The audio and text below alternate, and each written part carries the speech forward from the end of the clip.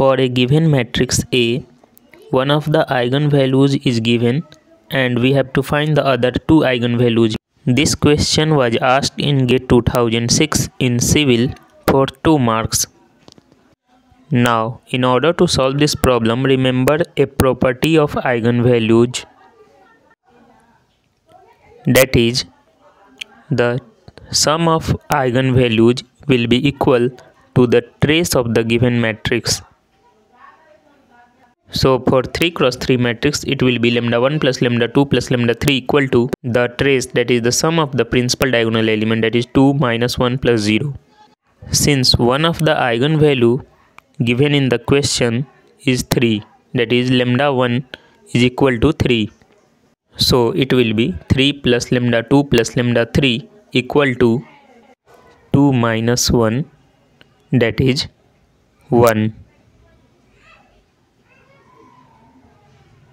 So lambda 2 plus lambda 3 is equal to minus 2. That is the sum of other two eigenvalues will be minus 2. Now check the options. Here the sum is 2 minus 5 that is minus 3 so it is wrong. Here the sum is 3 minus 5 that is minus 2 so it is right.